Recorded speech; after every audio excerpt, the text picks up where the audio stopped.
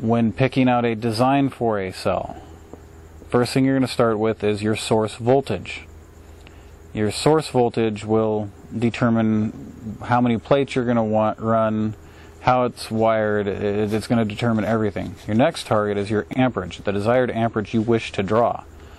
Um, so let's say for I don't know a, a 12 volt application. It's it's real fun and easy to run these off of 12 volt car batteries with a with a charger on standby to keep your battery voltage. The connections are safe. You're not dealing with line voltage from your house.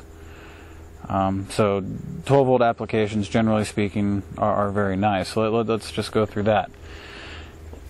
What we've found is that 4N configurations um, for neutral, so a, a negative or positive, doesn't really matter, four neutrals, and then your next negative or positive, um, obviously they have to be opposite polarity, is what seems to run quite well. It draws enough amperage to get something done and yet runs efficiently enough that you're not wasting amps in creating heat. This particular cell, if I were to run this on a 12 volt setup, um, you have 36 plates, it would be a 4N7. So there would be four neutral cell stacks in here, or, or seven neutral cell stacks in this one cell. Um, experimenting with electrolyte concentrations and things like that will will give you baseline numbers for how much amperage to accept or to expect with a, a given square inch of surface area. Um, relative numbers, and, and everybody has their own opinion about electrolyte concentrations. I prefer very weak solutions. Uh, they're safe to handle. They spill all over the place. It's not a problem. It's not much different than a, a cleaning solution. It's, it's really no big deal. Um, using that, it's usually about 0.25 to 0.33 amps per square inch. So if I wanted to sit down and figure out the math on this, I could. Uh, I don't have a calculator. I don't have a free hand to do the math right now. But that would tell me how many amps this cell would draw at what voltage. If it was too many amps for my application, I would just simply start removing stacks. In other words, I would take it from a 7 stack system to a 6 or a 5 or a 4. Um, and then that pretty much does your cell design for you. It's real simple. You find your voltage, that determines your neutrals. Your number of neutrals, or, or the number of spaces in between each connection, for round numbers, you want between 2 and 2.4 volts in each gap. So if I apply 12 volts and then say I have, it'd be easier with a pen, but let, let's see here. Let's drop this, give you guys a little bit of a visual aid. If I had 12 volts to work with, right,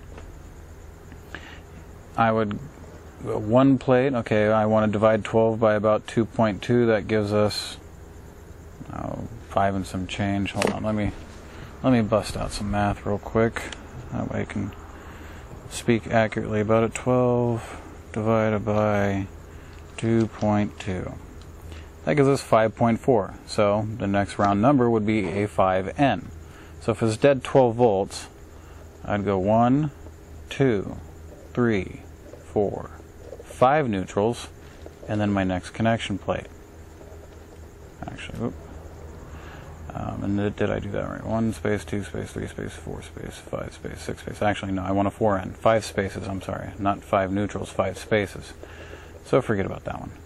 So I would make this plus, and I make that negative, um, or positive negative. 14 volts, obviously you can go up and, and do the math, but you want it between 2.2 and 2.4 volts. 2.4 is slightly overdriving a cell. Over time, you will see some iron leaching.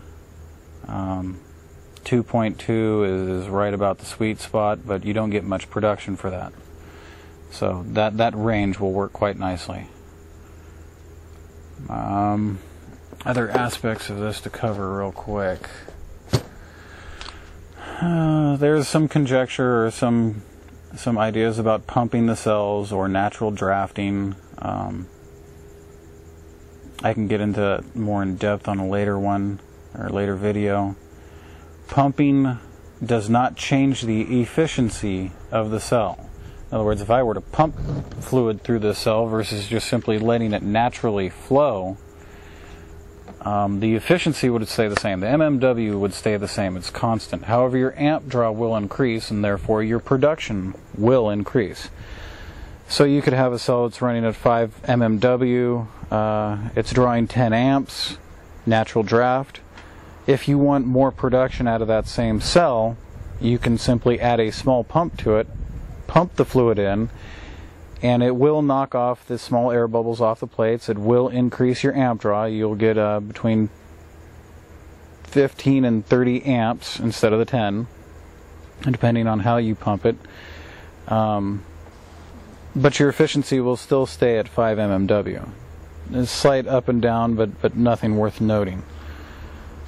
Um, so that, that's that's pretty much it for now. I mean that's that's the basic features of it. This cell is inherently strong. Um, it's been tested to full flashback. The gaskets hold. Um, the plate system holds. The bolts hold. Um, all in all, it's, it's a very easily reconfigurable cell. Uh, keeps all your electrical connections outside of the gas space. That's very important. Having electrical connections, if you've watched my video of uh, this can happen, you've seen what happened to 10 of my wet cells simultaneously detonating because of a poor electrical connection. Um, and and I used stainless steel hardware and all kinds of things like that um, on the inside of the cell. It was copper wire, but it really boils down to stainless steel is a very poor conductor. Um, when you use it as an electrical con- connection inside a cell, it still gets hot. If you look up the resistance um, or the resistivity of stainless, it, it's to, to pass amperage through stainless steel um, directly as a connection with high amperage, like I, what I was doing, and, and what a lot of these other parallel cell designs are doing, um, it, it, gets hot. You basically might as well put a heater element inside an hydrogen oxygen environment and then turn it on. That's about as much sense. Plus, it makes reconfiguration difficult. This, you just pop off a couple connectors, move them to a different point, reconnect it, and you're off and running again. You can switch from one source voltage to another source voltage quickly and easily um, without getting your hands wet or having to take apart the cell or w- with minimal amount of fuss. Um, serious design advantage on that. So that's pretty much what I got right now. Um, those two there are experimental 8 inch cells, just for those people who will wonder. Uh, it's the same thing that I've shown on other videos. I've just added plates and made two of them. So we're getting ready for some real fun gas production over at D3's place. Um, Scarecrow was playing with the torch today. I was happy to see it. That looked trick. So we got some fun stuff coming up. So I'll talk to everybody later. Bye.